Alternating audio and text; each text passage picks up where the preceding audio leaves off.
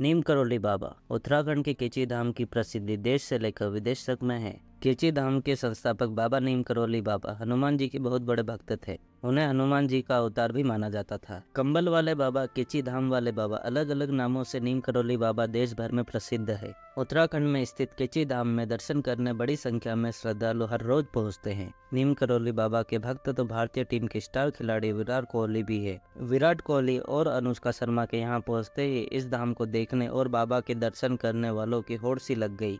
न सिर्फ़ विराट कोहली, बल्कि कंबल वाले बाबा को मानने वाले विदेशी भी है।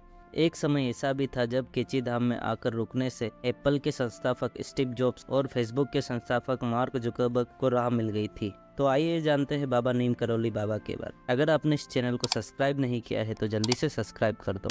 नीम करोली बाबा का नाम सुनते ही उनके भक्त एक अलग ही दुनिया में पहुँच जाते हैं। उनका जन्म सन 1900 में यूपी के फिरोजाबाद ज़िले के अकबरपुर गाँव में हुआ था। बाबा एक हिंदू गुरु थे और वह भगवान हनुमान जी के बहुत बड़े भक्त थे। उनके अनुयायी उन्हें महाराज जी के रूप में बुलाते थे। बाबा नीम करोली का नाम लक्ष्मण नारायण शर्मा था। लक्ष्मण नारायण शर्मा का विवाह उनके परिवार वालों ने मात्र ग्यारह वर्ष की उम्र में कर दिया था। बार बार गृहस्थ जीवन त्यागने की उन्होंने कोशिश की, लेकिन परिवार के दबाव में अपने परिवार के साथ ही रहे। नीम करोली बाबा के दो बेटे और एक बेटी है। बाबा को सत्रह साल की आयु में ही ज्ञान और विद्या की प्राप्ति हो गई थी। वह यूपी से देवभूमि, उत्तराखंड आ गए। उन्होंने यहाँ एक आश्रम की स्थापना की जिसका नाम केची धाम है। केची नैनीताल भुवाली से सात किलोमीटर की दूरी पर स्थित है। बाबा नीम करोली उन्नीस में पहली बार यहाँ आए और उन्होंने अपने पुराने मित्र पूर्णानंद जी के साथ मिलकर यहाँ आश्रम बनाने का विचार किया था। डायबिटीज़ कोमा में चले जाने के बाद 11 सितंबर उन्नीस सौ तिहत्तर को वृंदावन के एक अस्पताल में नीम करोली बाबा की मृत्यु हो गई थी। इस धाम को केची मंदिर नीम करोली धाम और नीम करोली आश्रम के नाम से जाना जाता है। यहाँ आपको हर दुकान पर कंबल मिलेगा क्योंकि नीम करोली बाबा कंबल ओढ़ा करते थे। ये कंबल उनको केची धाम में चढ़ाया भी जाता है।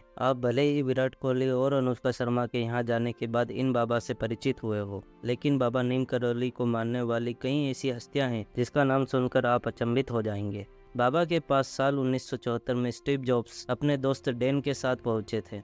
वह उस दौरान हिंदू धर्म और भारतीय आध्यात्मिकता का अध्ययन करने के लिए भारत आए थे। और वे बाबा के आश्रम में बहुत प्रभावित हुए और वह कुछ हफ़्ते बाबा के आश्रम में रहे, फिर वापस लौट गए। और फिर स्टीव जॉब्स ने 1 अप्रैल 1976 को एप्पल कंपनी की स्थापना की और आज एप्पल कंपनी दुनिया भर में मशहूर है। स्टीव जॉब्स से प्रेरित होकर फेसबुक के संस्थापक मार्क जुकरबर्ग भी 2015 में बाबा नीम करोली के केची धाम आश्रम में पहुँचते हैं। उस वक्त फेसबुक की हालत ठीक नहीं थी। लेकिन बाबा के आश्रम में रुकने के बाद उन्होंने सफलता के एक नए आयाम लिखे। इसके अलावा हॉलीवुड अभिनेत्री जूलिया भी उनसे बहुत प्रभावित है।